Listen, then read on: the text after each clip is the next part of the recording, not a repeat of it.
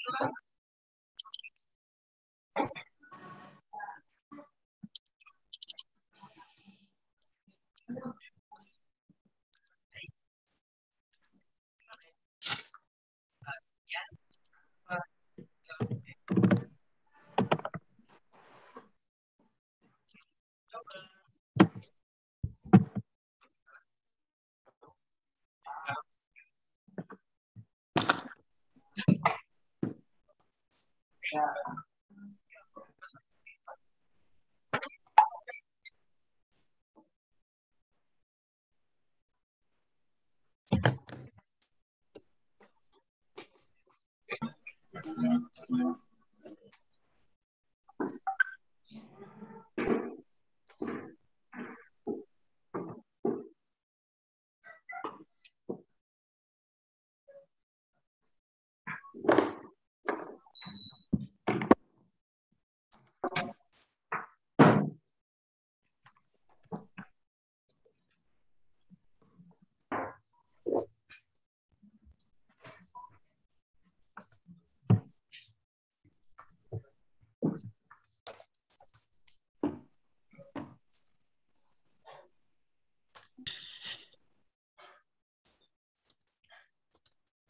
Aduh, kalau pakai background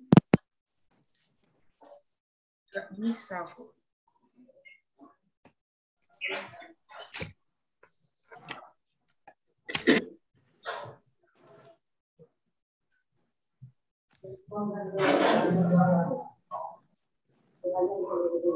Ini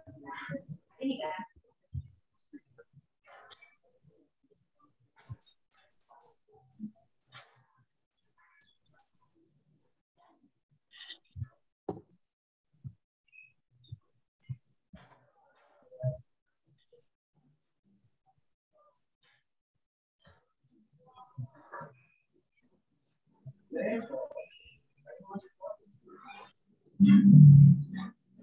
you.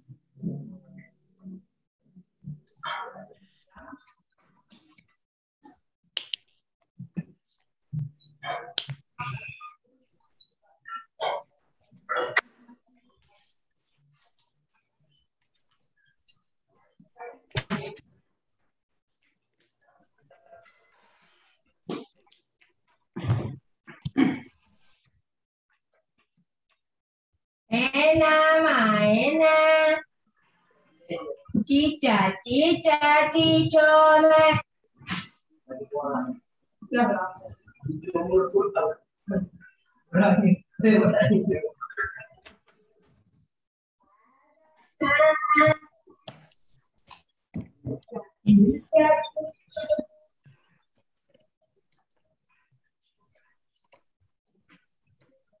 Thank you.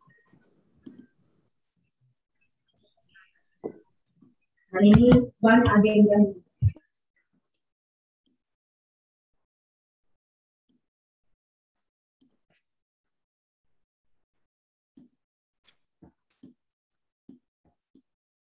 Ya,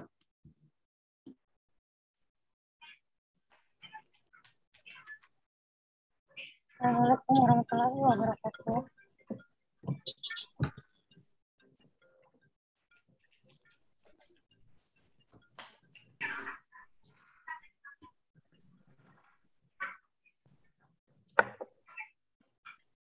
Assalamualaikum warahmatullahi wabarakatuh. Waalaikumsalam. Waalaikumsalam warahmatullahi wabarakatuh, dokter. Selamat pagi, dokter. Selamat pagi dokter. Dokter. Ini ada dua grup ya. Benar, dokter. Oke. Dokter Iwan. Oh, mungkin dokter Iwan belum masuk. Ah, cuma udah menayangkan ini. Lagi sibuk kan ya. Oke, saya buka. Assalamualaikum warahmatullahi wabarakatuh. Selamat pagi semuanya. Nah, topik kita kali ini, pagi ini, untuk praktikum tentang cara pemberian obat pada binatang percobaan. Nah, dari praktikum ini, kalian akan uh, mengenal, harusnya secara offline ya, supaya kalian mengenal, bisa mengetahui bagaimana prakteknya secara langsung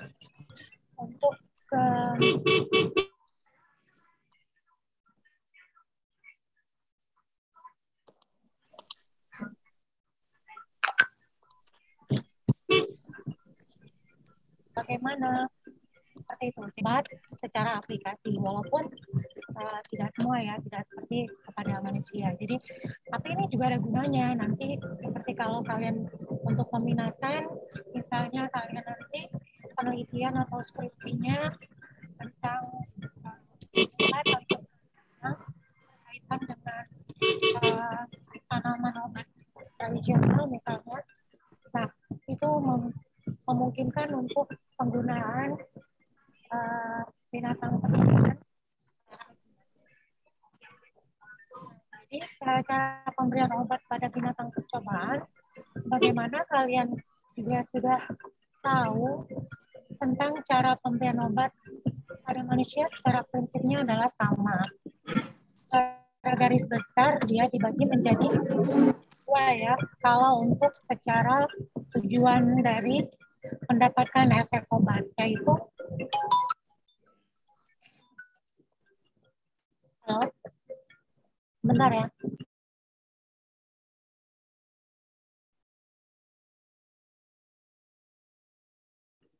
Oke, silakan Dokter Iwan.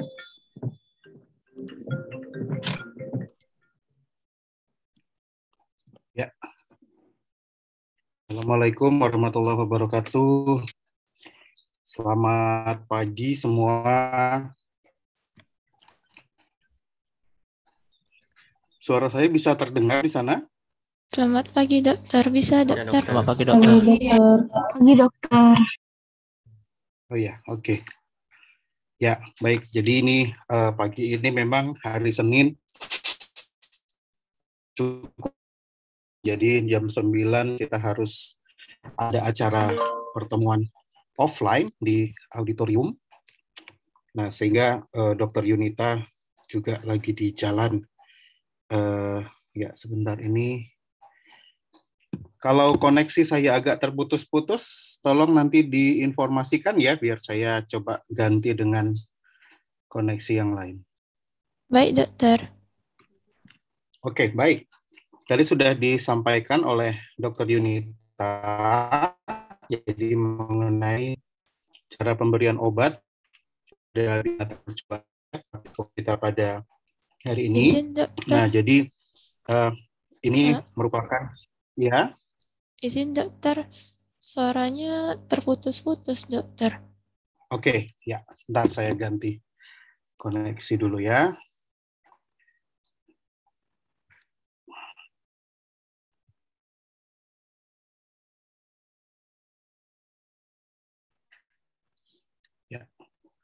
Ini sudah lebih bagus? Uh, sudah, dokter. Ya. Oke. Baik. Nah, jadi untuk uh, pemberian pada uh, obat pada hewan coba ini uh, memang akan banyak nanti digunakan ya, digunakan untuk kita dalam penelitian ya dalam penelitian kalian sebagai dokter juga nanti uh, memiliki kompetensi untuk dapat melakukan penelitian dan salah satunya adalah penelitian preklinis ya yang nantinya akan dilakukan pada hewan coba ataupun lebih rendah lagi secara in vitro ya Nah, jadi kalau yang penelitian klinis itu pada manusia itu juga nanti ada eh, pembelajarannya tersendiri ya.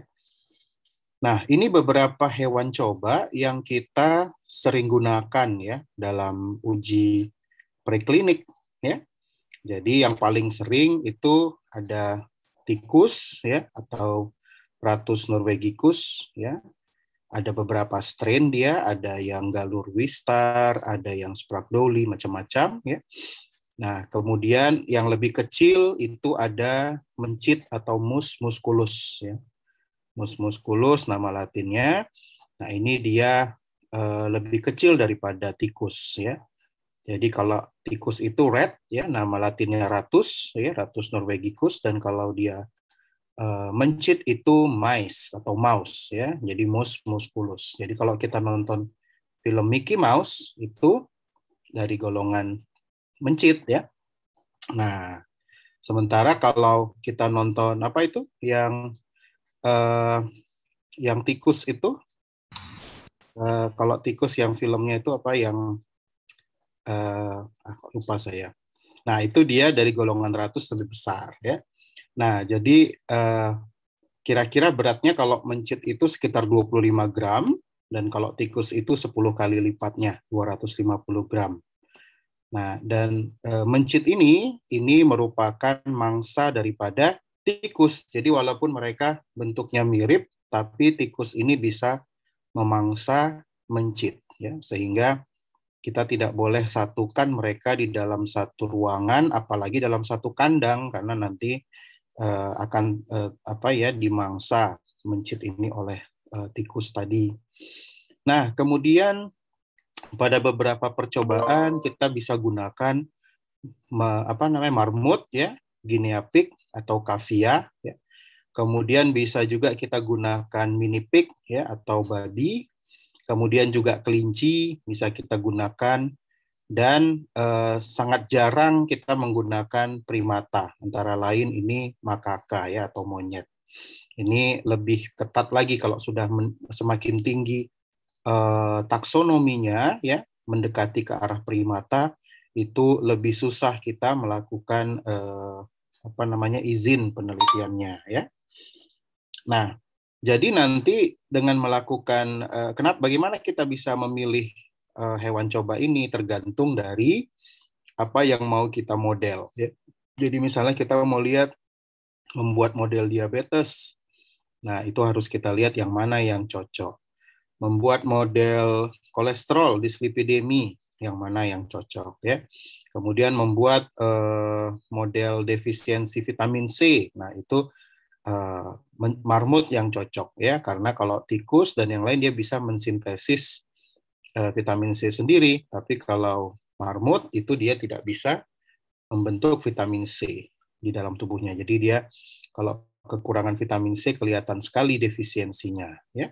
Nah, ini uh, kita harus pelajari lebih lanjut untuk mengenali model-model. Nah, kalau kita mau melihat misalnya tentang apa uh, bagaimana pengaruh pada tungkai ya, mau lihat osteoporosis, melihat artritis.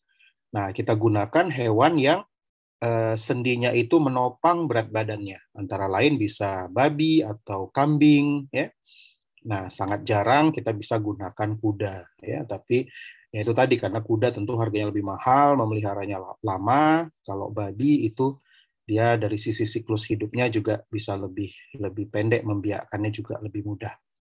Nah, jadi ini beberapa eh, hewan coba yang digunakan dan kemudian kita akan melakukan treatment secara farmakologis. Tentu kita akan memberikan obat.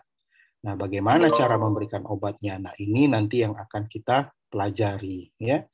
Nah, kita lihat di sini kalau pada uh, kelinci ini banyak vena-venanya ya, venanya besar ya. Ini bisa kita suntikkan secara intravena ya. Tapi kalau tikus atau mencit itu venanya cuma ada di ekor. Satu aja yang kelihatan dan itu susah diakses ya. Jadi intravena, pemberian intravena tidak tidak cocok ya untuk diberikan pada roden ya atau tikus dan mencit. Nah, kemudian kalau pada babi bagaimana? Nah, di vena-vena tungkainya juga cukup besar. Jadi kalau secara intravena boleh bisa ya. Secara peroral ya semua rata-rata bisa ya. Nah, subkutan juga hampir semua rata-rata bisa kepada hewan cobanya ya.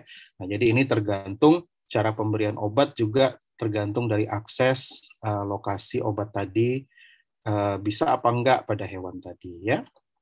Nah, ini sedikit tentang pemanfaatan hewan coba ya, banyak sekali pemanfaatannya untuk pengembangan obat ya, kemudian untuk praktikum pendidikan eh, kedokteran atau biologi ya, melihat anatomi dan sebagainya ini pemanfaatan hewan coba.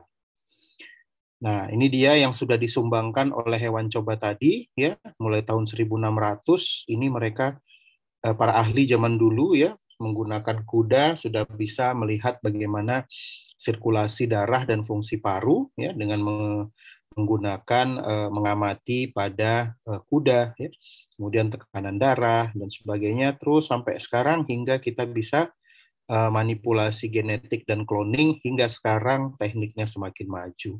Dan ini semua dari eh, pengembangan pada hewan coba, ya. Nah, jadi eh, kalau penggunaan pada hewan coba itu banyak yang komplain, ya, terutama pecinta binatang. Jadi dikatakan, wah kita mengabuse hewan, ya. Kita memanfaatkan hewan itu untuk kepentingan manusia. Kita zolim, gitu ya. Kita kejam. Gitu. Nah, sementara padahal itu tidak juga, ya.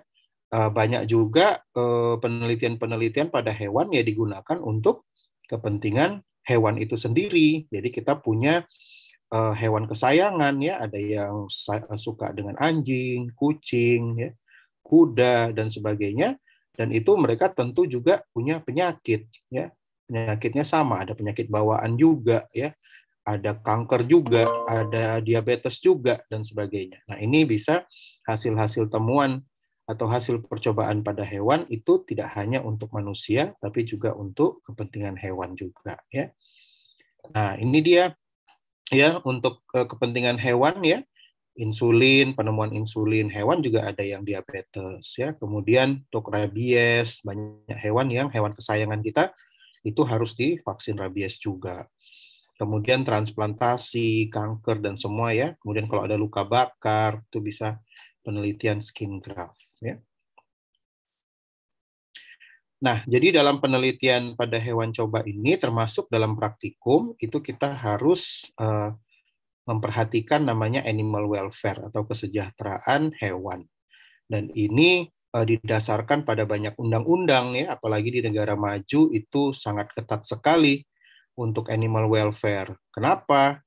Karena hewan itu tidak bisa ngomong kalau itu sakit atau kalau itu tidak enak ya kalau pada manusia pada uji klinis orang tuh tahu dia bisa menolak saya tidak mau ikut atau sudah ikut aduh sakit sekali saya nggak mau lagi saya, saya drop out saya stop gitu. Nah kalau pada hewan mereka tidak bisa drop out ya. Nah sampai dia ya harus dipaksa gitu kita tetap memaksa dia gitu ya. Nah sehingga harus ada aturan-aturan atau batasan-batasan. Kapan ya kondisi pada saat penelitian itu kita nyatakan oke okay, ini di stop saja penelitiannya tidak boleh dilanjutkan pada hewan tadi. Nah itu harus ada uh, endpoint uh, untuk uh, penelitian pada hewan coba ya. Nah kemudian inilah hal yang perlu diperhatikan ya penyakit penyakitnya ya. Jadi pada hewan di laboratorium itu mereka harus bersih, harus bebas dari penyakit. Ya kemudian makanannya juga harus khusus, nggak bisa makanannya dikasih makanan-makanan sisa ya. Kalau untuk hewan coba makanan sisa dari kantin misalnya itu, ah untuk tikus saja, tikus kan bisa makanan dari got misalnya ya, nggak boleh itu. Jadi harus ada makanannya khusus. Bahkan makanannya lebih mahal dari makanan kita ya. Kalau untuk makanan yang standar itu per kilogramnya ya harganya itu bisa sampai eh, 200 ribu kalau pakan khusus ya yang untuk membuat model misalnya dislipidemi itu satu kilonya bisa sampai satu juta harganya. Ya. Nah jadi pakannya juga juga harus khusus ya. Kemudian keamanannya jangan sampai ada hewan liar masuk ke dalam ruangan di mana kita memelihara hewan coba tadi ya. Nah ini peraturan perundang-undangannya ya yang menjadi patokan kita dalam melaksanakan kegiatan pada hewan coba baik itu untuk uh, penelitian maupun untuk praktikum ya. Nah, setiap kali kita melakukan uh, apa namanya uh, perlakuan pada hewan coba, baik itu pada penelitian maupun praktikum, harus memenuhi tiga prinsip ini. Ada etiknya. Kita harus respect pada hewan tadi, jadi kita harus merawatnya dengan baik, ya, memperlakukannya dengan baik, tidak tidak menyakiti ya.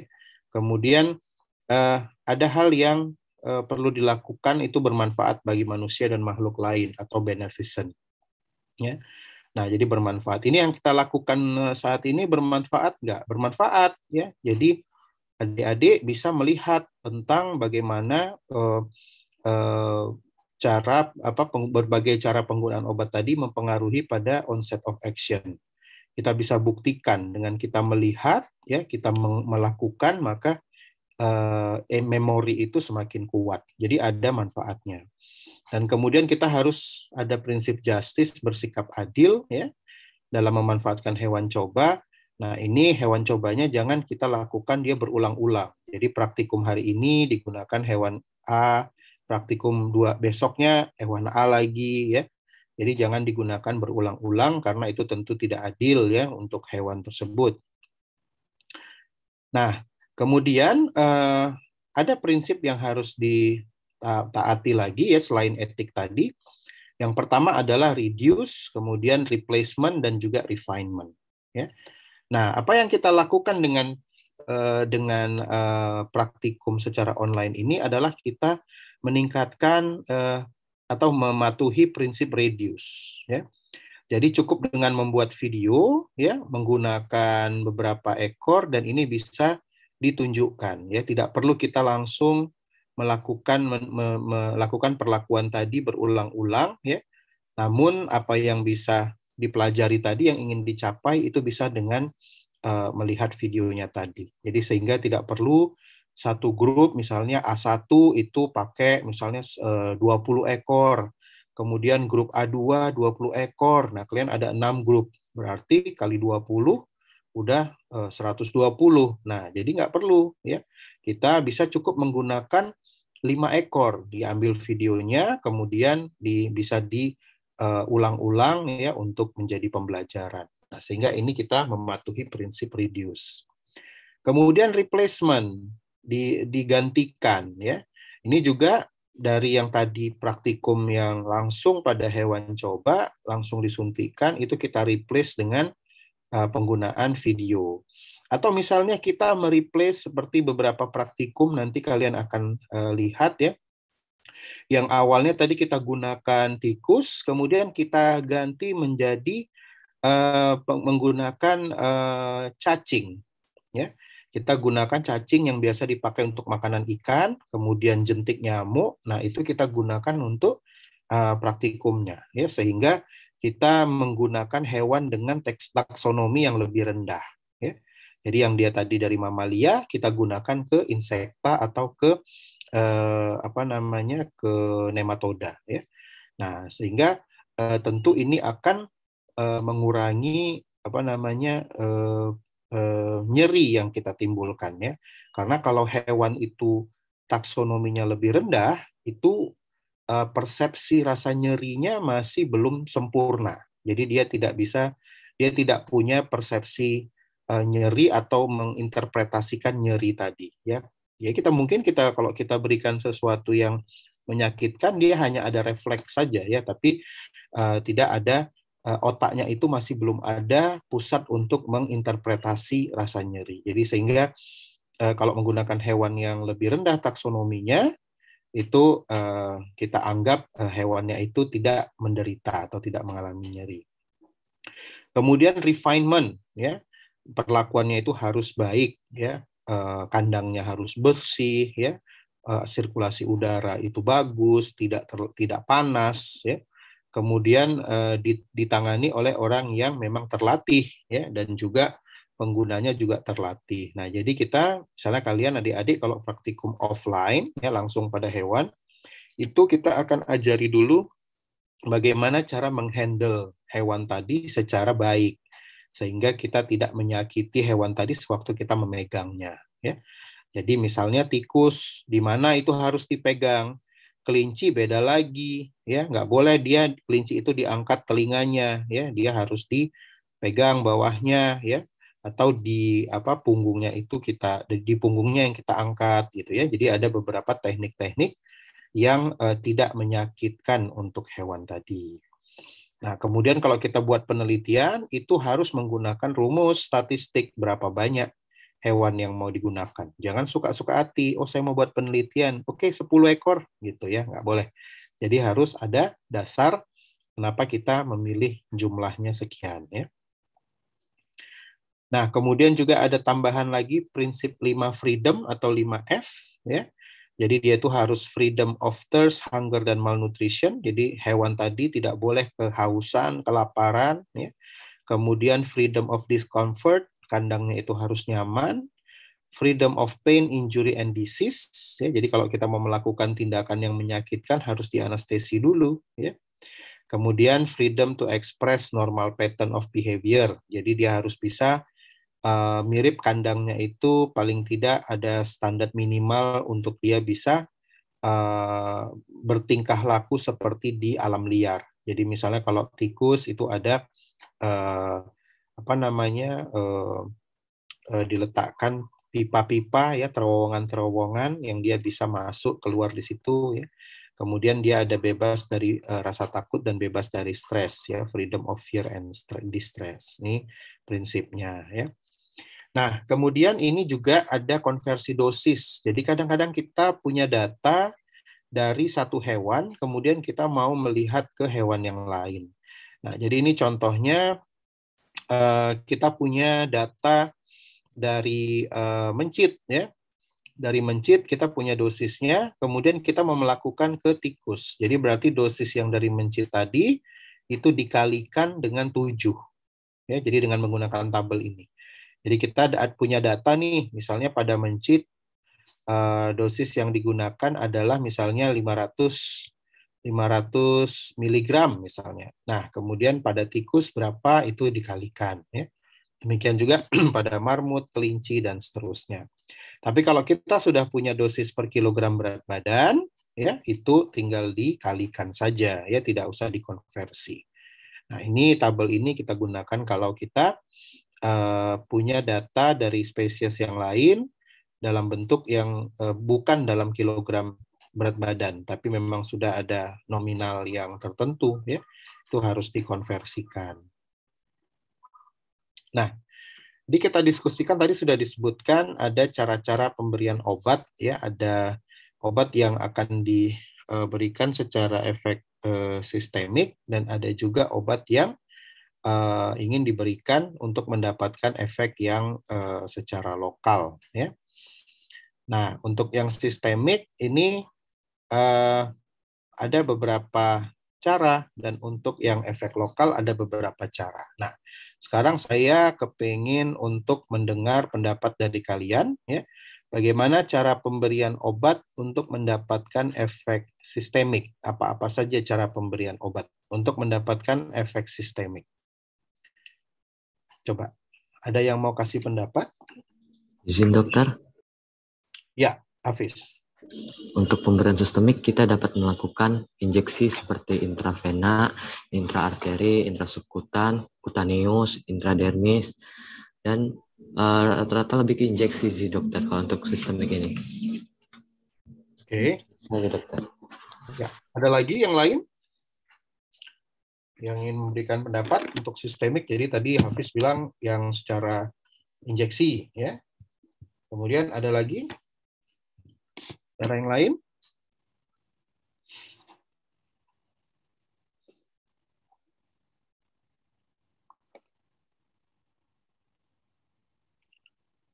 Yuk, siapa yang mau jawab? Uh, izin menjawab, dokter. Uh, mm -hmm. Menurut saya obat oral juga bisa, dokter.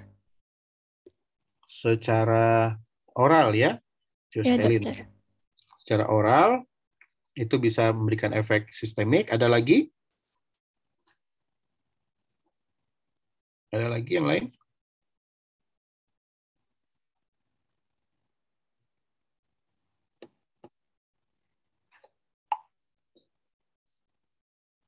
Izin menjawab, dok. Iya. Uh, rektal bisa, dok? Secara rektal, bisa ya secara rektal. Contohnya apa bisa disebutkan yang secara rektal untuk efek sistemik? Yang anti kejang itu, Dok. Ya, yang anti kejang ya. Misalnya diazepam diberikan secara eh, rektal ya mendapatkan efek sistemik. Ada lagi yang lain? Tadi udah ada in, secara injeksi ya parenteral, kemudian peroral, kemudian secara rektal. Ada lagi yang lain yang mau kasih yang kira-kira belum?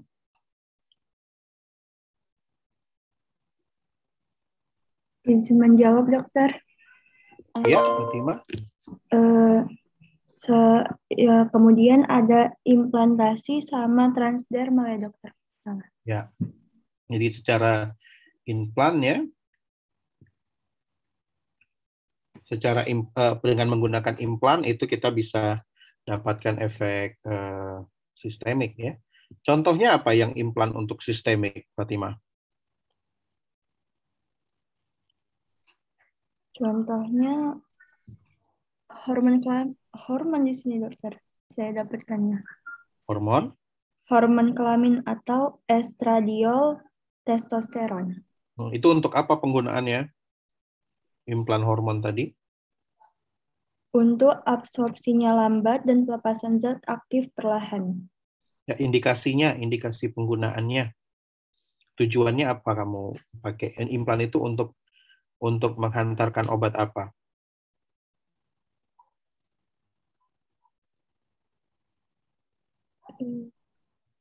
Kurang tahu dokter. Untuk alat kontrasepsi ya, susuk ya, implan. Jadi hormon eh, estrogen dan progesteron tadi itu diberikan sehingga menghambat terjadinya eh, ovulasi ya, sehingga tidak terjadi kehamilan. Nah, kemudian kalau yang lokal apa pula? Ada yang mau kasih pendapat kalau yang efek lokal? Izin dokter. Hmm, ya silakan. Izin dokter. Untuk efek lokal biasanya itu berbentuk salep kulit dokter. Salep dioleskan ke kulit, ya. Iya dokter. Nah, misalnya untuk apa saja tuh salep itu? Tujuannya Em, sebagai efeknya apa? efeknya itu misalnya eh, salep anti luka bakar dokter. Biasanya untuk mengurangi eh, efek dari luka bakarnya. Hmm. Ada lagi yang lain? Izin Mungkin. dokter, Hmm, silakan. eh, untuk efek lokal itu salah satunya inhalasi dokter. Contohnya itu pada Untuk obat asma ya. iya Mm-mm. Yang efek lokal lagi pada kulit tadi yang seperti salep kulit biasanya untuk apa? Antibiotik misalnya ya. Kemudian apa lagi? alergi dokter. Ya, untuk alergi, gatal-gatal ya. Nah, itu bisa diberikan eh, apa namanya? secara lokal. Lotion misalnya ya, Caladin lotion. Nah, tetes mata, tetes telinga, ya itu juga semua kita mengharapkan ada efek lokal ya, baik itu anti antiseptiknya atau antibiotiknya maupun misalnya untuk tetes mata vasokonstriktor pada mata merah misalnya ya kita berikan tetes mata insto misalnya ya atau eh, yang lainnya yang mengandung obat vasokonstriktor sehingga nanti pembuluh darah matanya menjadi menciut dan akhirnya tidak merah lagi gitu.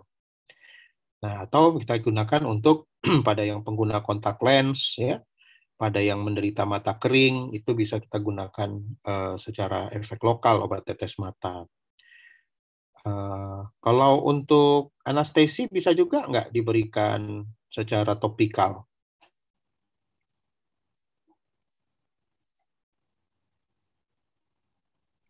Eh, izin menjawab, sepertinya bisa, dokter. Contohnya bisa kasih bisa kasih contoh kasus nggak yang menggunakan anestesi secara topikal? Eh, misalnya untuk eh, misalnya untuk cabut gigi itu kan anestesinya hanya di gigi, eh di gusi. Tapi bukan yang injeksi ya, bukan injeksi subkutan ya. Apa contohnya yang di gigi misalnya seperti disemprot etil klorida ya. Etil klorida itu dia secara topikal, jadi dia hanya pada permukaan kulit kita berikan ya. Kemudian dia akan masuk sedikit sampai ke eh, ujung-ujung sarafnya saja ya. Kalau eh, yang disuntik itu dia sudah masuk ke subkutan ya, jadi masuk beda ininya cara pemberian obatnya. Kemudian lagi misalnya eh, obat tetes telinga yang mengandung anestesi lokal ya. Jadi ada orang mengalami nyeri, nyeri telinga, ya ada ada inflamasi, kita berikan ya tetes telinga yang ada di dokainnya. Atau diberikan salep ya, salep yang mengandung anestesi lokal. Contohnya pada orang yang mungkin dia mau di mau dipasang ini misalnya ya, dipasang infus atau dipasang eh, ya dipasang infus gitu ya. Nah, itu dia eh, pada penderita apa orang yang cuci darah misalnya orang yang cuci darah itu kan tiga kali seminggu dia harus disuntik dengan atau dimasukkan jarum yang cukup besar dan itu kan sakit waktu masuk ke dalam ke kulit. Jadi itu bisa diberikan obat anestesi lokal baik itu salepnya ya ataupun dalam bentuk spray ya. Nah, itu dia tentang uh, obat-obat tadi ya banyak penggunaannya. Nah, ini tadi ya yang sudah kita diskusikan ya melalui oral ya. Mudah ya, tidak perlu steril ya. Jadi bisa di langsung dimakan namun dia akan diabsorpsi dan pertama sekali waktu habis diabsorpsi dia masuk ke vena porta ya. Vena porta itu mengarah ke hati. Jadi singgah dulu di hati dan di situ bisa terjadi metabolisme lintas pertama. Jadi sebelum dia mencapai target kerjanya, dia di metabolisme dulu. Nah, sudah masuk farmakokinetik metabolisme kuliahnya? Sudah? Sudah, dokter. Sudah ya. Nah, apa saja yang terjadi pada saat metabolisme terhadap efek obat? Ada tiga itu. Akibat dari metabolisme. Akibat yang Ya, Didi mau jawab? Yang absorpsi deh dokter. Absorpsi hmm? baru itu masalah baru. Ini di ya. metabolismenya di. Kalau obat tadi di metabolisme, dia di metabolisme itu bisa ada oh. tiga kemungkinan yang terjadi. Yang di hati dokter baru itu ginjal sama bisa dari kulit juga ya dokter. Ya, tapi kalau kita memberikan secara peroral, itu metabolismenya pertama sekali akan uh, ya bukan pertama sekali ya itu nanti akan terjadi di hati jadi bisa saja metabolisme kalau diberikan per oral itu terjadi di permukaan uh, mukosa itu bisa saja ada ada enzim di situ kemudian ada uh, mikroba uh, di permukaan di saluran cerna sudah bisa terjadi metabolisme nah namun uh, yang paling signifikan itu adalah metabolisme yang di hati. Begitu dia diabsorpsi lewat di hati, kemudian terjadi metabolisme. Nah, apa akibat dari metabolisme ini terhadap efek obat tadi? Itu yang saya tanya. Izin jawab, dokter. Ya. Obat menjadi aktif, dokter. Obat menjadi obat yang aktif menjadi semakin aktif, obat hmm. yang aktif menjadi tidak aktif, dan obat hmm. yang aktif menjadi tidak aktif menjadi tidak aktif dan tidak aktif menjadi aktif. Hmm, iya. Jadi obat itu dia ada uh, dua macam kalau kita berikan dari bentuk uh, kimianya ya. Ada yang kita sebut sebagai prodrug. Prodrug itu dia dalam bentuk tabletnya itu dia belum aktif ya. Dia mesti di metabolisme dulu baru dia menjadi aktif ya. Nah, ada obat yang dalam bentuk tabletnya itu sudah aktif.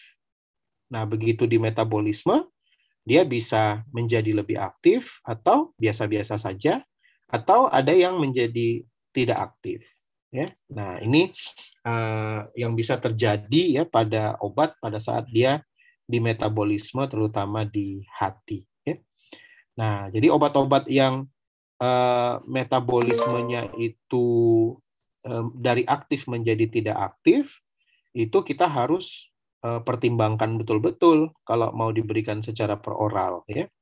Apakah nanti bentuk sediaannya dimanipulasi ya atau misalnya cara pemberian obatnya yang di diubah ya. Contohnya misalnya preparat nitrat ya, obat untuk jantung ya pada pada orang yang serangan jantung itu kan pembuluh koronernya kan menciut. Kita harus berikan uh, obat dari golongan nitrat supaya terjadi dilatasi lagi ya pembuluh koronernya melebar lagi sehingga aliran darah bagus lagi ya nah obat nitrat ini itu sangat cepat di metabolisme menjadi tidak aktif di hati nah jadi uh, teknik apa kita trik kita ya atau teknik kita adalah ya berikan secara uh, dengan cara penggunaan obat yang bisa membypass ya. Jangan sampai dia melewati hati. Bisa dengan injeksi langsung ya. Secara intravena itu akan langsung masuk ke pembuluh darah vena kemudian masuk ke eh, tempat-tempat uh, uh, kerja lainnya. Nah, kemudian uh, ya, jadi obat yang tidak boleh diberikan secara oral ya, ini ada yang tidak bisa diberikan secara oral itu obat yang sifatnya uh, merangsang mukosa. Jadi kalau dia bersifat sangat asam, obatnya tadi ya, Ini nanti bisa merusak mukosa saluran cerna. Atau obat tadi itu bisa dirusak oleh asam lambung atau yang dinonaktifkan ya oleh hati. Nah, atau kemudian obat itu dimaksudkan hanya untuk mencapai efek lokal. Nah, ini tentu tidak boleh diberikan secara uh, peroral ya. Nah, jadi dia mudah, ekonomis, tidak perlu steril. Kemudian kerugiannya obat ini harus diformulasikan supaya uh, mudah ditelan. Kemudian uh, uh, apa namanya obat itu uh, uh, rasanya enak ya. Kemudian atau paling tidak bisa diterima ya. Nah, sehingga obat-obat yang rasanya sangat pahit itu biasanya kita masukkan ke dalam kapsul, ya. Dalam kapsul supaya dia bisa uh, ditelan, ya. Jadi tidak memberikan rasa sangat pahit di di lidah, ya. Nah, kemudian juga uh, obat tadi itu kita berikan bahan-bahan pelicin, ya. Tablet itu kan ada yang dilapis dengan gula atau dilapis dengan selulosa sehingga dia begitu melewati uh, apa uh, orofaring itu akan mudah ditelan, tidak nyangkut ya. Nah, itu jadi ada teknik farmasetika namanya ya, sebelum dia waktu obat itu tadi dibuat ada juga teknologi-teknologi supaya dia mudah di diambil atau dikonsumsi. Nah, tadi yang secara oral. Kemudian ada juga yang secara sistemik itu melewati oromukosal, jadi mukosa mulut. Nah, ini bisa kita berikan secara sublingual. Keuntungannya kalau sublingual, dia akan membypass. Jadi dari vena-vena yang ada di bawah lidah ini, dia akan masuk ke uh, pembuluh darah langsung, pembuluh darah besar ya, langsung masuk ke uh, uh, apa namanya vena ya, vena cava superior, baru kemudian ke uh, jantung, kemudian baru ada efek sistemik. Ya. Jadi biasanya obat-obat yang tadi preparat nitrat tadi itu kita berikan di bawah lidah. Ya. Nah kekurangannya ini uh, nanti akan bisa menyebabkan rasa apa ya sariawan ya kalau dia bolak-balik ada benda di sini tuh nanti akan mengganggu bisa nanti menimbulkan uh, apa iritasi pada selaput lendir mulut ya terjadi sariawan jadi tidak boleh secara rutin tiga kali sehari misalnya diberikan sublingual itu tidak bisa ya. Nah, kemudian bisa diberikan secara bukal, jadi disisip antara gusi ya, di gusi ditaruh ya, seperti menyuntil ya, ditaruh di situ ya antara pipi dan gusi. Nah, ini biasanya obat-obat eh, analgetik ya, obat-obat analgetik yang mengandung eh, morfin misalnya itu bisa diberikan secara bukal ya. Nah ini juga kerugiannya rasa obat harus enak karena kalau obatnya nggak enak, wah itu pasti pasien nggak mau pakainya ya. Nah ini yang secara parenteral tadi ada subkutan, intramuskuler, intravena, intraarteri, ya, intrakutan, intralumbal, intraperitoneal, intrakardial, intraperi, eh, intrapleural, eh, pleural, intraartikular, ya. Nah ini langsung kalau artikular ini disuntikkan langsung ke sendi, ya. Kalau intravena ini yang paling sering ya disuntikkan ke vena, kalau intraarteri ke pembuluh nadi. Nah, sekarang saya mau tanya, kapan kita berikan secara intraarteri? Ada yang mau kasih pendapat? Kapan kita berikan secara intraarteri obat tadi pada kondisi apa? Izin menjawab dokter. Ya. Uh, setahu saya itu kalau misalkan penyakitnya kayak penyakit tumor gitu dokter. Kalau tidak ya. salah. Ya betul pada pada kasus-kasus tumor ya. Itu bagaimana eh, logikanya atau rasionalitas kenapa pada penyakit tumor tadi diberikan secara intraarteri?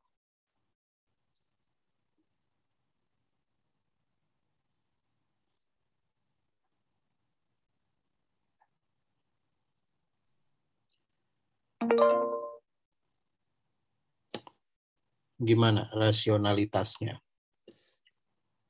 Kalau arteri nanti kan dokter dia bakal langsung ke uh, organ-organ kita dokter. Sedangkan kalau tumor dan kayak kanker dan lain itu nanti kan bakal mengangkat ke salah satu organ. Nah, kalau arteri itu nanti kan bakal menjalar ke organ-organ itu. Sedangkan kalau vena itu kan nanti dia bakal langsung naik nanti ke uh, vena cava superior langsung nanti ke jantung sedang dia nggak melewati uh, organ-organ lagi. Makanya itu kita menggunakan uh, intra arteri jadi bisa langsung ke organ targetnya itu. Iya. Kalau hmm, ya tambahan lagi. Ada tambahan lagi? Tadi kayaknya mau masih ada yang mau disambungkan statementnya. Kalau stroke juga bisa ya dokter? Gimana kalau pada orang yang terkena stroke kita berikan intraarteri?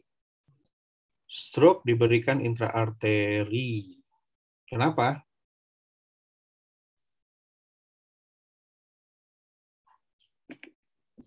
Penyumbatan. Pada uh, orang stroke kan bakal terjadi penyumbatan, maka itu kita memberikan uh, intraarteri, jadi bisa langsung. Ya, ya benar.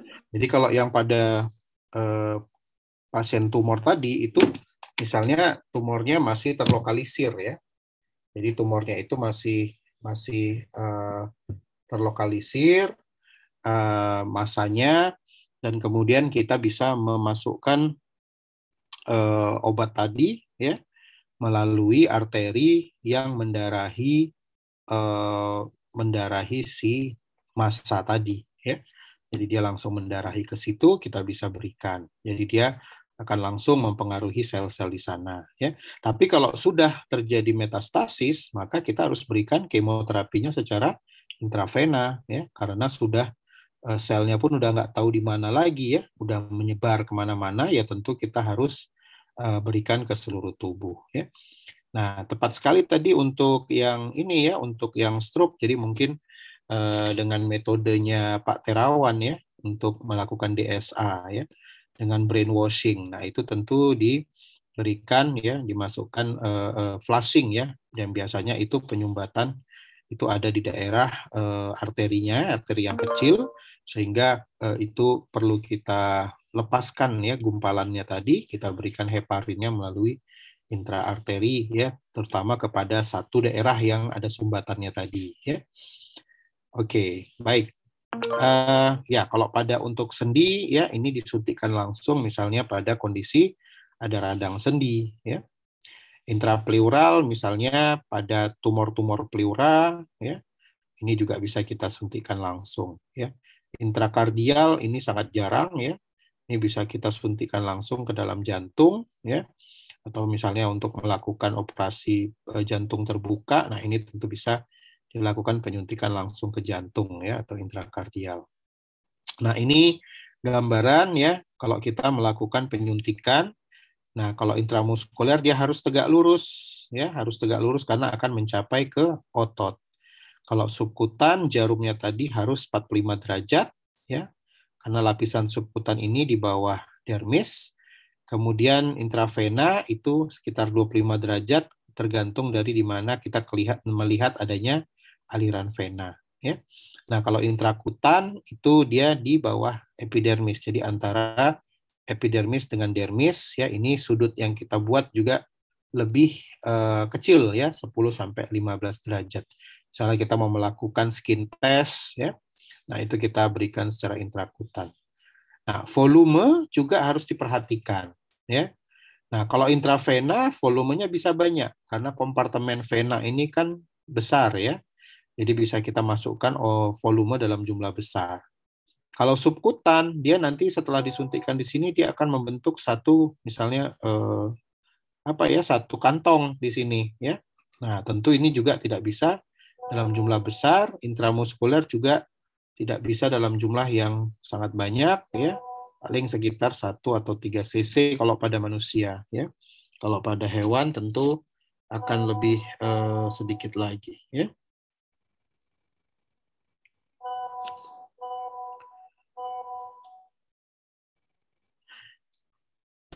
Eh, oke kita lanjut ya.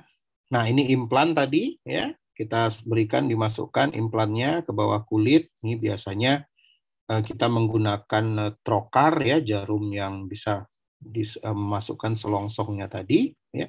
Kemudian dia akan tersimpan di bawah kulit ya. Nah, ini rektal, ini kalau untuk efek sistemik, jadi kita bisa berikan secara rektal kemudian diabsorpsi ya. Misalnya tadi untuk eh, kondisi-kondisi ya, kejang tadi misalnya ya. Nah, ini transdermal juga bisa kita berikan dalam bentuk seperti uh, plester atau koyo. Ya. Nah, kemudian ini yang efek lokal dioleskan pada kulit sediaannya pun krim ya krim anti antibiotik atau salep antibiotik ya krim anti jamur lotion untuk alergi bedak nah ini semua efeknya lokal. Inhalasi ya. Untuk tadi sampai ke saluran nafas ya mukosa saluran nafas kita harapkan hanya akan bekerja pada daerah situ saja ya. Tapi kalau dosisnya besar ya maka ini juga bisa terjadi absorpsi melalui alveolus ya. Nah, pada mukosa mata dan telinga ya ini juga ya bisa kita berikan obat-obat eh, tetes ya atau salep ya untuk efek topikal atau efek lokal. Intravaginal juga bisa ya, misalnya kita berikan untuk anti jamur ya, obat-obat infeksi yang pada pada vagina itu bisa kita berikan uh, atau uvula namanya ya. Kemudian juga ada uh, spermisid ya, spermisid itu bisa di di apa kan juga diberikan di uh, intravaginal ya sebelum uh, melakukan hubungan seksual sebagai untuk uh, apa namanya kontrasepsi walaupun tidak dianjurkan ya karena bisa saja uh, kalau spermisidnya tadi tidak bekerja dengan baik itu akan masih bisa juga sel spermanya masuk ke dalam dalam rahim ya. Nah, jadi kemudian ada juga untuk induksi persalinan nanti juga kita bisa masukkan obatnya langsung ke serviks ya melalui vagina. Jadi ini uh, obatnya biasa untuk ke daerah uh, genitalia saja ya, mukosa vagina ataupun ke paling jauh mungkin sampai ke rahim ya otot-otot rahim. Nah intranasal ini misalnya untuk hidung tersumbat ya. Nah ini pada anak-anak yang pilek atau orang yang kena sinusitis ini kita berikan semprot hidung ya intranasal. Nah rektal juga selain dari yang eh, eh, sistemik ada juga yang lokal ya. Nah ini biasanya untuk wasir atau ambeien ya. Nanti dia akan bekerja pada daerah di mana ada terjadi hemoroidnya saja ya menciut menciutkan uh, hemoroidnya tadi ya. Nah, ini sekarang kita masuk pada praktikum kita pada hari ini. Uh, tadi kita sudah tahu ada beberapa cara penggunaan obat itu pada manusia ya. Sedangkan kalau kita mau pada hewan coba itu uh, menggantikan efek dari intra intravena kalau pada tikus itu kita bisa berikan secara secara apa? Ada yang tahu nggak? Kalau pada tikus tadi kan intravenanya, venanya cuma satu dan kecil, susah diakses. Nah, kalau saya ingin mendapatkan efek yang cepat, kalau pada tikus, apa yang e, cara penggunaan obat yang saya gunakan? Yang secara parenteral tadi. Izin jawab, dok. Sekutan bisa ya, dok? subkutan bisa, tapi saya ingin uh, efeknya cepat. Kalau subkutan, apakah cepat efeknya? Intramuskular bagaimana, dokter? Intramuskular bisa, tapi apakah uh, lebih cepat? Ada yang lebih cepat lagi nggak gitu? Kalau secara intravena kan begitu disuntikkan langsung dapat efek. Intraperitoneal, dok? Ya, intraperitoneal bisa juga ya Nah, ini kita lihat nanti dalam praktikum kita ada beberapa cara pemberian obat ya uh, untuk untuk memberikan apa mendapatkan onset ya berbagai macam onsetnya itu kita bisa berikan nanti dia secara intraperitoneal, intramuskular, eh, subkutan ya atau peroral ya. Nah, di sini nanti kita akan menggunakan ya uh, alat-alatnya ada timbangan untuk mengukur berat badan uh, tikusnya, kemudian ada jarum suntik, ya, kemudian ada juga oral gavas, ya, oral gavas ini uh, untuk mensonde, ya, kemudian ada uh, stopwatch, kemudian bahan yang mau kita tes adalah ketamin. Kalau di panduan kalian itu ada fenobarbital ya tapi kita ganti fenobarbitalnya dengan ketamin ya kemudian uh, Kemudian kita gunakan tikus jantan ya eh, yang albino galur wistar yang beratnya sekitar 150 gram ya. Nah, jadi kita hitung dosisnya dulu. Dosis ketamin pada pada penggunaan kali ini kita akan gunakan 75 mg per kilogram berat badan ya. Nah, kemudian kalau kita lihat ini ya eh, ketaminnya ini botolnya ini ya. Ini dia sediaannya itu ya 50 mg per mililiter ya ketamin hamil ya 50 mg per mililiter. Nah, jadi eh, kita harus karena kita mau menyuntik ya tentu dalam bentuk larutan. Kalau kita hitung dalam bentuk eh, kilogram berat badan maka nanti baru dapat dalam bentuk miligram. Miligram itu satuan berat ya bukan satuan volume. Nah, nanti kita konversi lagi menjadi satuan volume dengan mengetahui uh, berapa konsentrasi dari sediaan. Ya. Nah, sekarang coba hitung untuk berat berat tikus yang 150 gram itu berapa miligram ketaminnya, kemudian uh, dengan menggunakan sediaan 50 miligram per mililiter, berapa volume ketamin uh, yang harus kita berikan. Coba dihitung dulu. Kalau ada yang sudah dapat, boleh uh, memberikan jawabannya.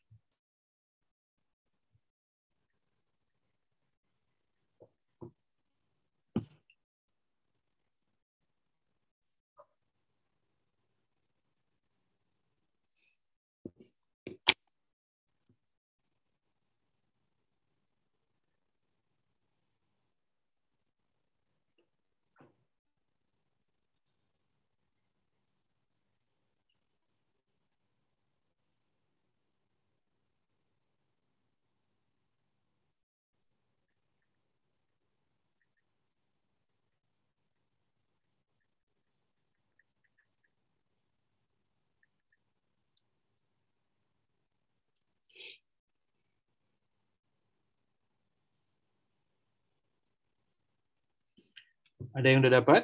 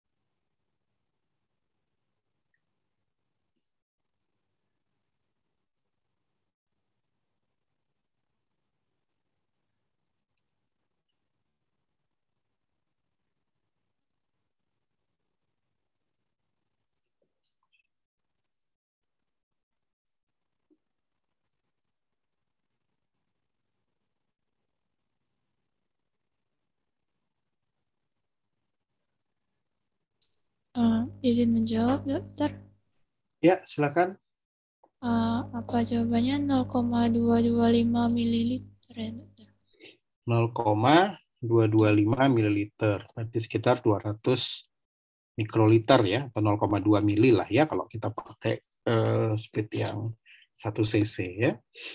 Nah, ini uh, bisa kita encerkan juga ya. Jadi misalnya 0,2 cc itu kan kalau untuk per oral eh, ya ini ini cara hitungannya ya. Nah, ini ya. Jadi kalau kita hitung dosisnya 75 mg per kilogram berat badan. Nah, sehingga eh, kita bisa lihat ya di sini eh, 75 mg kita jadikan dulu 150 gram itu adalah 0,15 kilogram ya. Jadi dapat 11,25 mg. Jangan dibagi ya. Jangan karena dia 75 mg per kilo, jadi dibagi pula ya. Ini maknanya kan dia dalam satu kilogram itu mendapatkan 75 mg. Jadi kalau dia 0,15 kg maka dikalikan ya. Dapatlah ini. Kemudian sediaan ketaminnya 50 mg dalam 1 ml. Jadi kita bagi ya 11,25 bagi 50 dikali 1 ml dapat 0,225 ya atau kita buatlah 0,2 ya. Nah, ini untuk 150 gram tikus. Nah, 0,2 ini kadang dia kecil sedikit sekali ya untuk pemberian per oral itu kadang nanti eh, mungkin agak susah eh, pemberiannya tidak sampai dia gitu ya. Jadi kita ingin berikan volume yang agak lebih banyak. Nah, itu bisa kita tambahkan, diencerkan lagi ya. Misalnya dibuat menjadi 1 ml. Untuk per oral pada tikus itu bisa bisa sampai mencapai volume eh, kalau pada tikus ya, pada tikus itu bisa sampai eh, 1 ml ya. Bisa sampai 1 ml. Nah, jangan kita terlalu banyak ya kalau terlalu banyak nanti eh, lambungnya akan terlalu penuh ya dia nanti akan keluar ya jadi regurgitasi ya nah kalau intraperitoneal itu bisa lebih banyak bisa masuk sampai 5 ml ya. Kalau secara subkutan dan intramuskuler itu sedikit paling cuman 0,2 sampai 0,3 ya atau 0,5 paling banyak ya. Dan kemudian kalau di intrakutan ya itu lebih sedikit lagi ya. Paling 0,1 ya uh, mililiter. Jadi tergantung dari gemburnya atau uh, akomodasi yang bisa ditampung ya oleh organ tadi nah itu begitulah jumlah uh, obat yang bisa kita suntikan ke daerah situ ya nah kemudian ini kita bagi uh, tikus kita kita buat dalam lima kelompok. Yang satu itu tidak diberikan apa-apa. Kemudian yang satu diberikan per oral, ya. Yang satu diberikan secara subkutan, diberikan secara intramuskuler, kemudian diberikan secara intraperitoneal, ya. Nah, ini ada video. Coba nanti kita bagi dulu, ya. Kita bagi ini, ya. Oh, sorry. Nah, ini teknik cara pemberian obatnya dulu ya. Teknik cara pemberian obatnya. Ini kalau diberikan per oral, ya, kita handling, kita pegang hewannya, ya, kemudian nanti kita cekokkan ya dengan menggunakan sonde, ya. Nah, ya, langsung masuk ke dalam uh, lambung. Nah, di sini kita lihat obatnya tumpah, ya. Kira-kira kenapa obatnya tumpah? Alasannya adalah karena sondenya terlalu pendek ya. Jadi kalau kita lihat ya, ini sondenya terlalu pendek. Ya. Nah, tuh pendek sekali ya. Seharusnya itu untuk uh, sonde itu harus sampai dia ke daerah prosesus sifoideus ya. Kalau kita ukur ya dari sini sampai dia ke prosesus sifoideusnya itu. Supaya apa? Supaya ujung dari sonde tadi langsung berada di dalam lambung kalau ini ya kalau terlalu pendek dia baru sampai di mungkin di dalam esofagus ya. Sehingga nanti e, bisa terjadi regurgitasi ya atau e, apa namanya? E, terkeluar dia ya obatnya tadi nggak sempat masuk ke lambung. Nah, jadi harus diperhatikan panjang dari sonde juga ya. Nah, itu untuk per oral ya.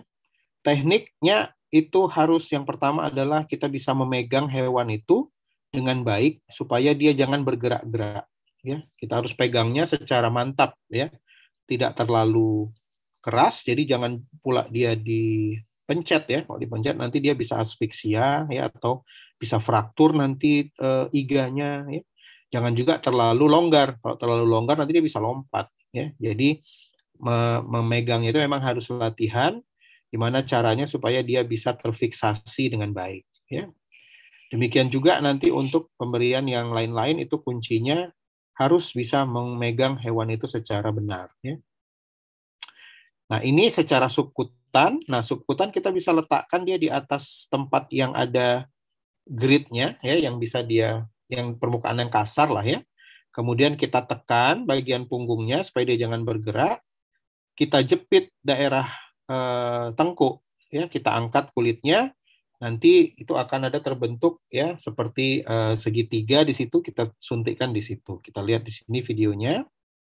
Nah, ini kita jepit ya.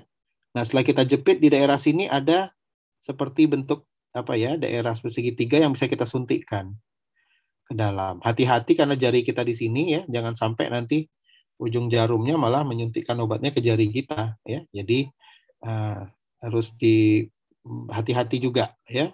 Jadi diangkat daerah tengkuknya, kulit-kulit di daerah tengkuk, kemudian di situ nah di daerah antara telinga itu itu nanti bisa kita suntikkan ya ke arah punggung dan itu adalah subkutan ya. Kalau intrakutan gimana, Dok? Kalau intrakutan harus kita cukur dulu bulunya ya, baru kemudian bisa kita suntikan ya pada daerah tersebut. Dan biasanya kalau secara intrakutan nanti dia akan terbentuk gelembung ya karena dia uh, mendesak lapisan kulitnya tadi sehingga dia akan uh, membentuk gelembung di di kulitnya tadi ya. Nah, kemudian intramuskuler, intramuskuler kita bisa angkat tarik kakinya ya, kemudian kita suntikan di daerah paha. Hati-hati di sini ada nervus ya, ada saraf jadi jangan sampai pula nanti uh, daerah sarafnya itu kita terluka, nanti dia bisa lumpuh ya. Nah, jadi kita lihat ini mana daerah yang nanti paling paling tebal ototnya di situ kita suntikan ya. Nah, di sini ya. Ya, biasanya agak ke bagian bawah ya. Yang paling tebal ke arah belakang. Oke. Nah, kemudian ini secara intraperitoneal sama juga kita harus pegang dengan baik. Kemudian kita suntikkan obatnya itu ya dari daerah pangkal paha ini ke arah ke arah atas ke arah midline ke arah bagian tengah ini garis tengah tubuhnya tapi ke arah atas ya disuntikkan di situ. Nah, kenapa kita suntikkan ke arah atas? Ada yang ada yang bisa kasih pendapat nggak? Kenapa nggak kita suntikkan tadi ke arah bawah? Kenapa kita mengarahkannya ke arah atas?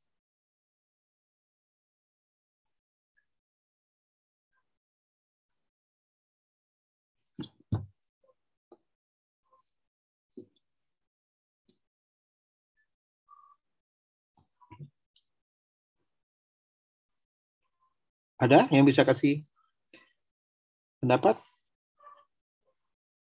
Kandung kemih gimana? Ya, silakan. Uh, kalau kita masukkan secara peritoneal kan kita nanti masukkan ke selaput atau rongga tubuhnya kan nggak mungkin kita sentikan ke bawah dari pahanya itu di situ nggak ada rongga tubuh jadi rongga tubuh pada uh, hewan pada hewan mungkin ada di bagian kepala bagian otaknya kemudian ada di bagian abdomennya sama satu lagi ada di, di bagian toraks baru bawahnya lagi ada di abdomennya jadi, karena itu dia di karena kita tujuan kita peritoneal, selaputnya kita suntikan ke arah atas, dokter. Iya, betul. Jadi di daerah sini ya, intraperitoneal itu di daerah abdomen. Dan kemudian kalau kita suntikan ke arah bawah, walaupun kita aksesnya dari sini, kita ke arah bawah, kita takut karena daerah sini ini ada kandung kemih. Ya, kita khawatir obatnya nanti malah terbuang masuk ke kandung kemih. Begitu kita suntikan, hewannya kencing dia. Ya, karena rupanya obatnya masuk ke kandung kemih ya. Nah, jadi kita suntikan ke arah atas ya. Jangan juga terlalu masuk sekali ke dalam ya karena nanti di sini ada limpa ya, ada ada limpa dan di daerah sini ada liver ya, di kanan ada liver, daerah kiri ada limpa dan uh, lambung ya. Jadi kalau kita terlalu masuk juga ke dalam nanti malah bisa mencederai ya. Nah, uh, kemudian juga dok nanti nggak kena ususnya gitu ya. Nah, jadi kalau kita memasukkannya secara perlahan, ya, nggak langsung tiba-tiba dihujamkan ke dalam, itu nggak akan kena usus. Kenapa?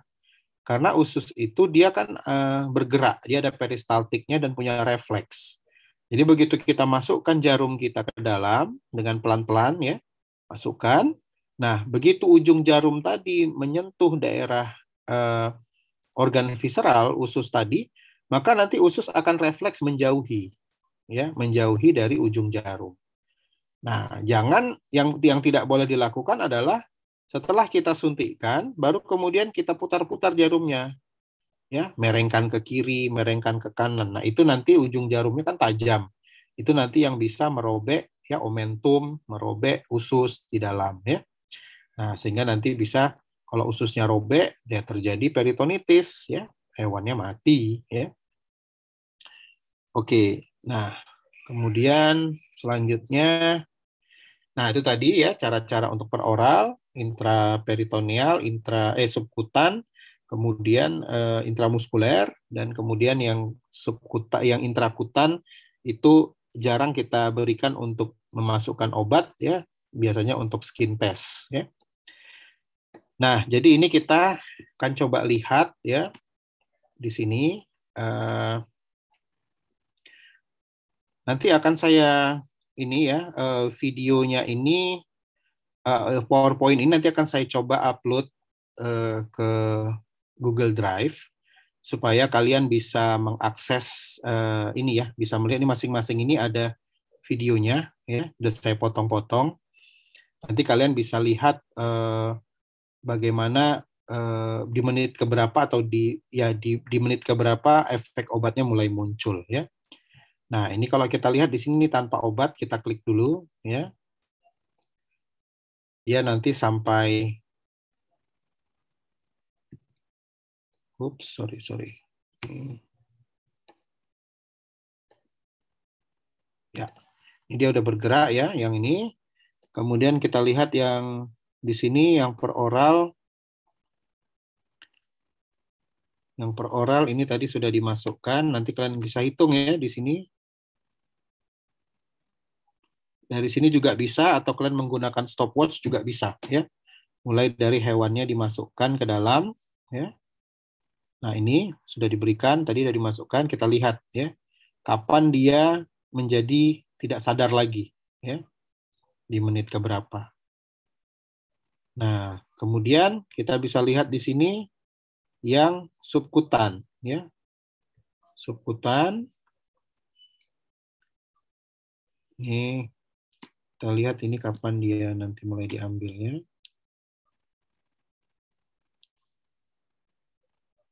Nanti videonya bisa kalian percepat atau perlambat. Nah, ini dia sudah dimasukkan obatnya. Nah, hewannya sudah masuk, kita amati ya, mulai dari sini kita pasang stopwatch. Kita lihat berapa lama dia ya.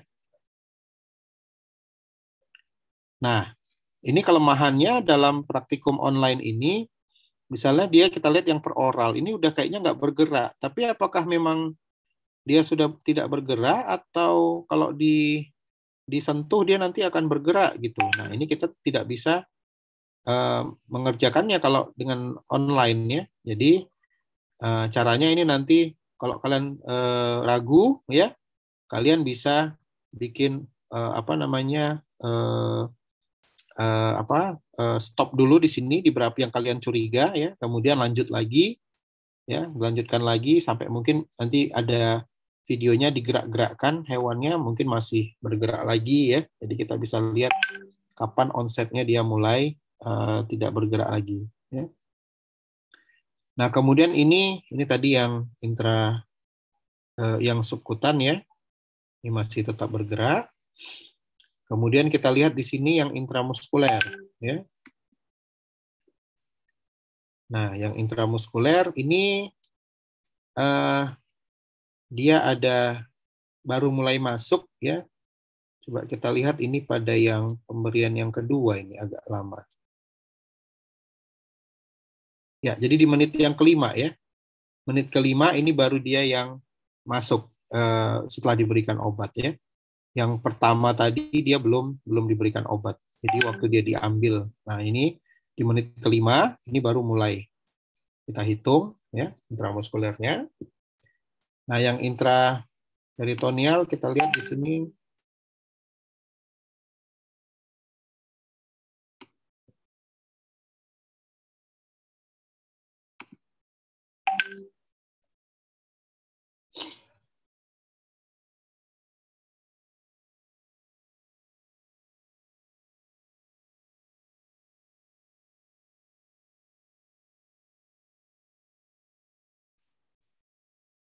Ya, ini yang intraperitoneal sudah sudah kita berikan ya.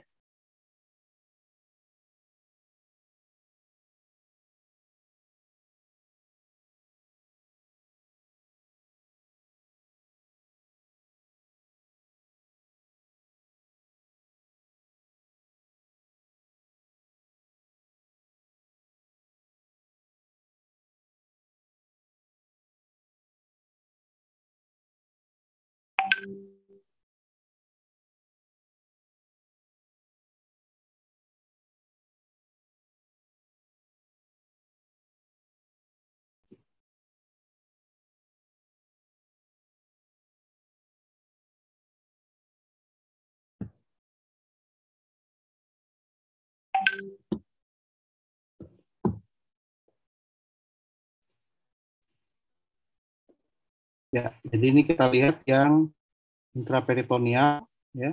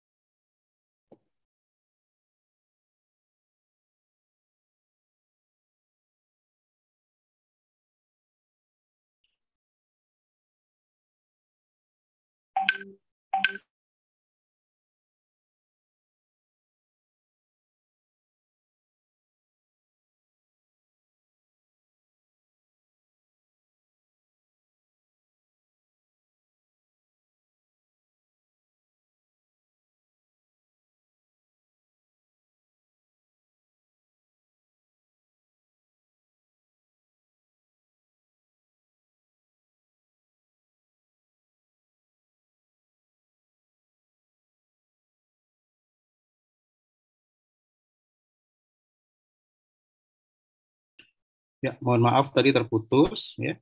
Jadi nanti ini kalian bisa bisa saksikan ya. Uh, bisa saksikan nanti ya berapa menit ya terjadi uh, muncul efeknya ya. Dan ini intraperitoneal.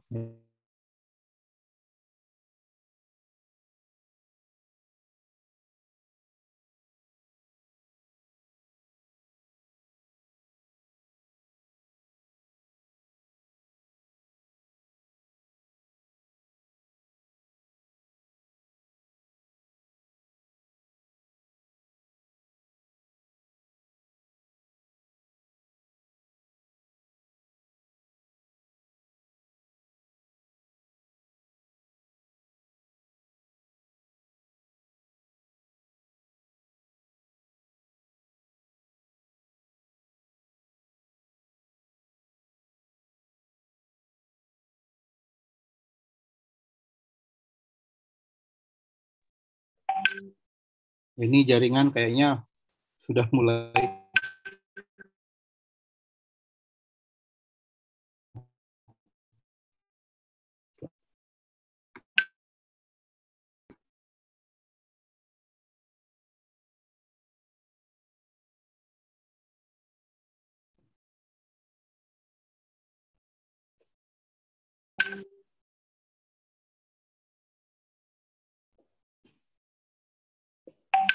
ini ternyata ada bunyi ini dari dari apa waktu pengamatan ya ada bunyi handphonenya mohon maaf. Jadi ini uh, kita bisa lihat ya uh,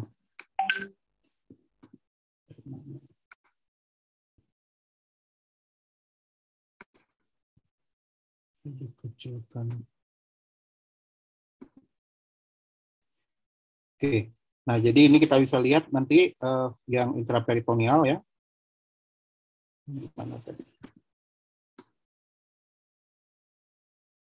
Nah ini yang intraperitoneal baru mulai diinjeksikan di menit kelima juga ya. Nah ini kita lihat dia sudah mulai meper-meper ini ya ini masih bengong-bengong. Ya. Nah ini yang intraperitoneal. Ya. Ini kita lihat dia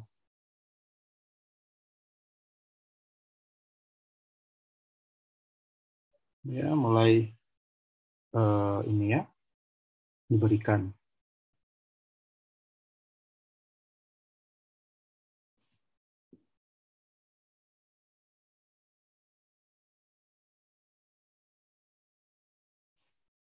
Kita bisa lihat di sini yang intramuskular udah mulai muncul efek ya. Tadi di menit keberapa tadi ya udah mulai muncul efek. Ini di menit ke-8, ini masih di menit ke-5 ya.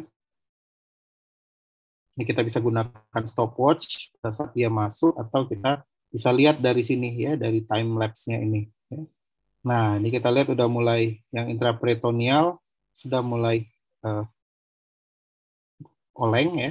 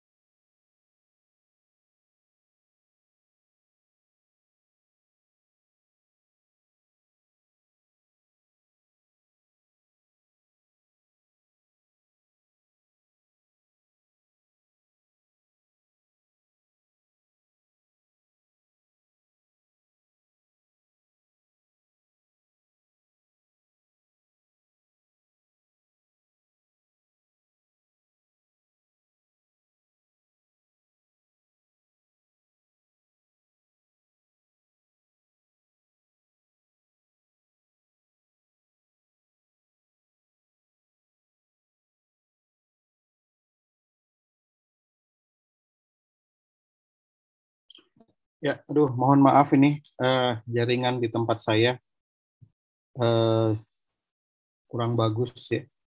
Jadi tadi itu nanti akan saya kirimkan linknya uh, di di ini ya, saya kirim nanti lewat Komting. Kemudian uh, ini nanti uh, silakan nanti kalian bisa lihat ya uh, apa namanya uh, videonya tadi lihat nanti dia berapa lama dia mulai mendapatkan efek maksimal ya.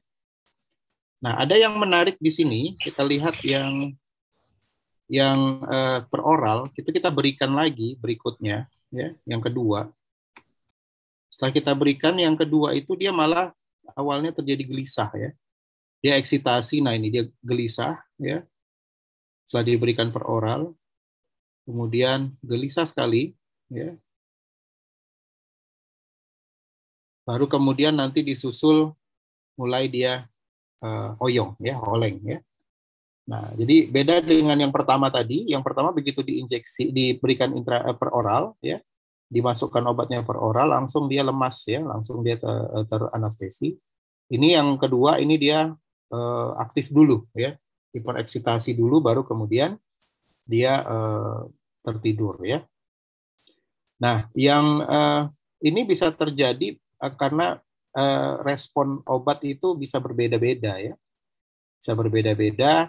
Nah, kita lihat di sini ya, dengan cara pemberian per oral, dosis obat itu masuk ke dalam darah ya itu dalam beberapa uh, waktu pertama ya detik atau menit pertama itu karena dia masih dalam lambung, maka obatnya dosisnya itu kecil masuk ke dalam darah.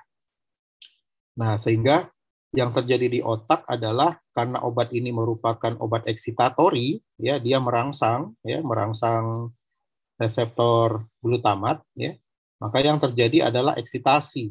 Jadi dia awalnya gelisah dulu, ya baru kemudian semakin meningkatnya dosis eh, menjadi jenuh, ya reseptor tadi bolak-balik dirangsang, akhirnya jadi jadi tumpul dia dan baru kemudian menjadi eh, depresi, ya. Ini yang terjadi pada tikus yang kedua yang diberikan per oral. Ya. Nah, sementara yang secara subkutan sampai habis pengamatan dia tetap uh, bergerak terus ya, masih bergerak walaupun sudah melambat. Ya. Tapi kita tidak bisa mendapatkan efek yang optimal. Dia masih bisa bergerak-bergerak. Ya. Dia masih bisa bergerak yang diberikan secara subkutan ini. Ya. Nah, tapi dia sudah mengantuk-mengantuk gitu ya. Nah, sementara yang intramuskuler itu nanti akan tertidur ya. Nah, setelah beberapa saat, 30 menit sampai satu jam, semua hewan ini dia habis efek anestesinya dan dia akan e, kembali bangun ya. Nah, yang subkutan ini kenapa dia tidak terjadi efek maksimal? Ada yang bisa memberikan pendapat terkait dari jumlah obat yang masuk ke dalam darah juga, ya. Ingat tadi kalau yang subkutan, obat itu kan terdeposit dalam satu kantong ya di dalam jaringan subkutan. Nah, tentu absorpsinya juga luas permukaan absorpsinya juga terbatas ya. Nah, akhirnya eh, obat tadi eh, terabsorpsi dalam jumlah sedikit-sedikit dan lama ya. Nah, akhirnya eh, efek obat juga tidak tidak tidak begitu optimal ya, tapi masa kerjanya jadi panjang karena obat tadi terdeposit dia di daerah subkutan. Nah, inilah yang kita juga hadapi kalau obat tadi kita berikan pada manusia pada subkutan ya. Obat akan terdeposit di daerah subkutan yang banyak lemaknya, kemudian nanti akan mengalami absorpsi sedikit-sedikit tapi dalam jangka waktu yang lama. Jadi efek obat itu tidak mencapai maksimal, tapi dia akan panjang ya masa kerjanya gitu. Ya. Nah, jadi ini eh, pengamatan yang kita lihat. Jadi kalau kita lihat eh, eh, dalam penelitian ini, percobaan ini, intraperitoneal itu sangat cepat ya. Kemudian disusul oleh intramuskuler, baru kemudian peroral, baru terakhir itu subkutan ya yang mengalami onset yang uh, onset kerjanya ya. Jadi tidak tercapai malah pada subkutan ini efek uh, yang maksimal seperti dijumpai pada kelompok-kelompok yang lain gitu ya. Uh, jadi ini uh, yang bisa kita ambil pelajaran dari praktikum dengan cara penggunaan obat ini ya. Kalau mau efek yang cepat berikan secara intraperitoneal ataupun intramuskuler ya per oral juga bisa memberikan efek tapi agak lebih lama ya sekitar eh, 5 menit ya sampai 10 menit ya tergantung dari efek apa yang kita harapkan juga ya. Dan subkutan itu efek uh, obat itu akan uh, kecil masuk ke dalam darah ya tapi diabsorpsi dalam jangka waktu yang cukup panjang. Dia terdeposit dia di daerah subkutan ya. Oke, mungkin uh, itu saja untuk uh, praktikum kita pada hari ini. Nanti untuk uh, menggunakan apa untuk tugasnya nanti dibuat di sini berapa menit onset of action-nya. Nanti kalian tunggu uh, saya mengupload dulu. Saya ini karena filenya gede, jadi mesti uh, butuh internet yang uh, cepat ya untuk mengupload file yang cukup besar.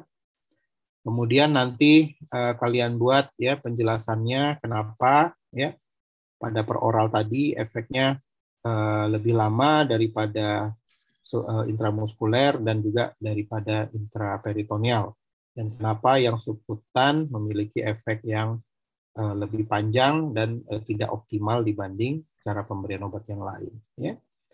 Ada yang mau ditanya kira-kira dari praktikum kita silakan. Dokter, izin bertanya, dokter. Ya, silakan. tadi maksudnya eh, absorpsi pada waktu yang panjang itu gimana ya tadi dokter? Masih kurang ngerti dokter. Ya, oke. Terima kasih pertanyaannya. Nah, jadi subkutan itu kan kita berikan dia di eh, bawah kulit ya. Jadi kalau kita lihat gambarnya, tunggu sebentar ini kita lihat.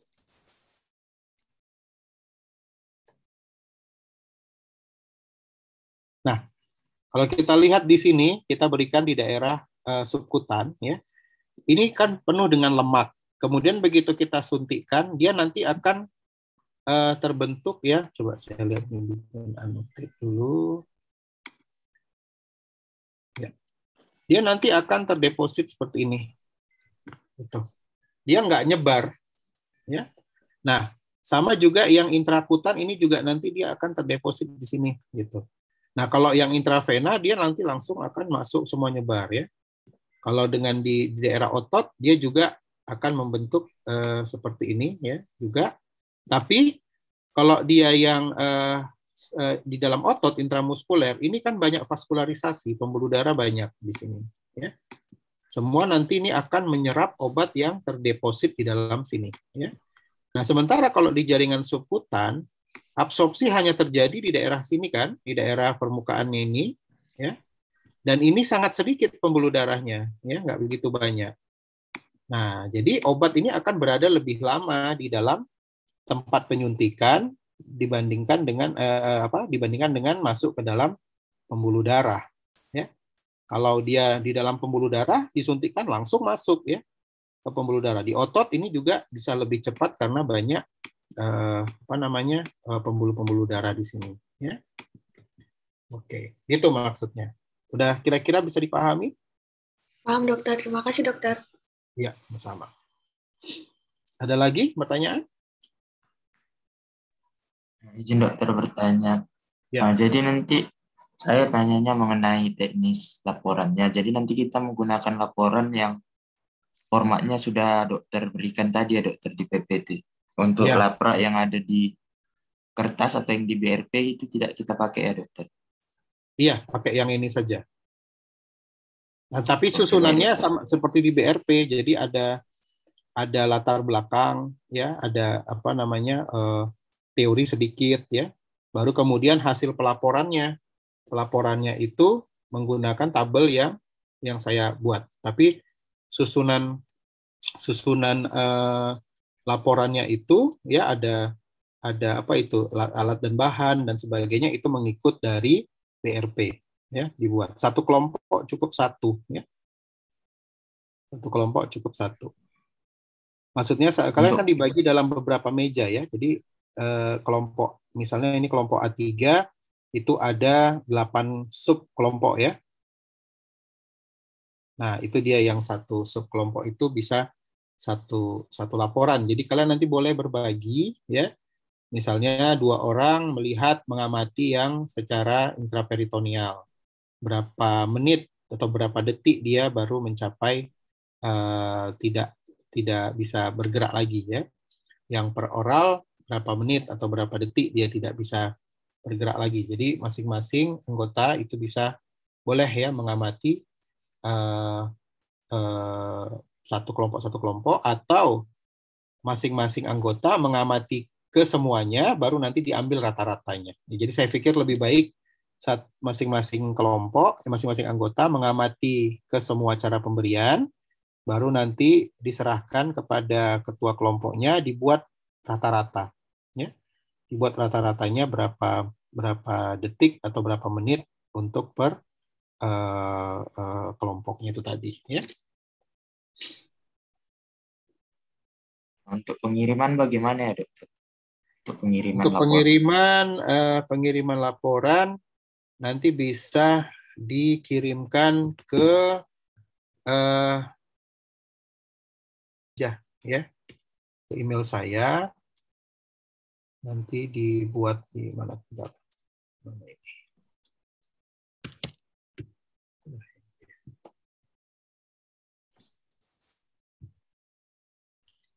Udah hang. Dokter Ikhwan, Ya, gimana Dokter Yunita ada mungkin sepertinya ada dua masukan? grup yang kemarin Itu sepertinya Iya. nggak ada kita meminta untuk membuat seperti ini ya, kalau saya nggak salah. Oh iya. Iya, jadi gimana baiknya nih eh, dok? Kayaknya kemarin kita lupa menginformasikannya karena terburu-buru ininya, praktikumnya. Mungkin kalau memang bisa dibuat melalui komting lah nanti diumumkan ya. Hmm. Jadi Ya, bisa oke di- nanti bisa disampaikan ya yang kelompok ini. Mungkin mo- mohon nanti disampaikan ke kelompok yang sebelumnya uh, untuk membuat uh, format laporan ya. Format laporan seperti yang sudah kita jelaskan. Itu. Ya.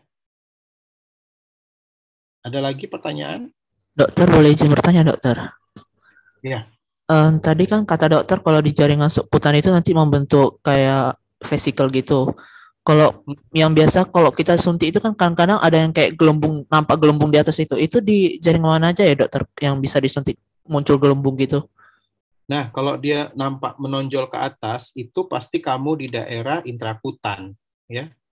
Di intrakutan itu yang yang eh, menggembung ke atas. Jadi kalau kalau kita mau memasukkan obat secara subkutan, tapi kemudian nampak ada melenting, ya, melenting seperti kena luka bakar gitu, atau misalnya warna kulit lebih putih, nah itu berarti kamu masuk di intrakutan kurang dalam, ya kurang dalam berarti itu. Jadi kalau dia subkutan itu dia eh, masuk ke jaringan yang lebih dalam akan terbentuk dia terdeposit tapi dia bisa lebih menyebar. Jaringannya itu lebih longgar dibandingkan dengan daerah intrakutan ya. Gitu. Bisa dipahami ya? Bisa. Terima kasih dokter. Ya, sama-sama. Ada lagi?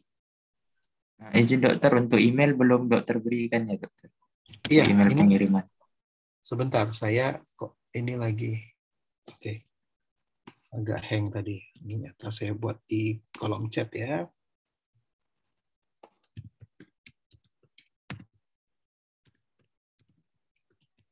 Nanti cantumkan kelompoknya ya.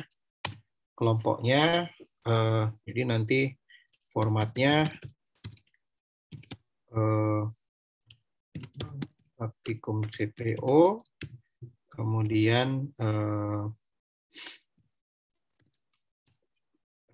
meja berapa, baru kemudian kelompok. Gitu ya. Jadi nanti format filenya praktikum CPO, misalnya meja kalian meja satu, kelompok A3 gitu ya. Eh dokter, Terus terima nanti kasih. dokter. nama-nama anggotanya ada di dalam. Siapa nama-nama anggotanya? Oke. Oke,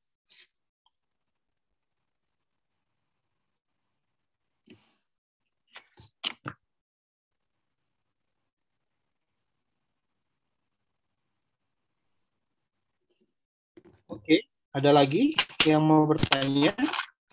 Dokter Junita mungkin ada yang mau ditambahkan dok? Silakan.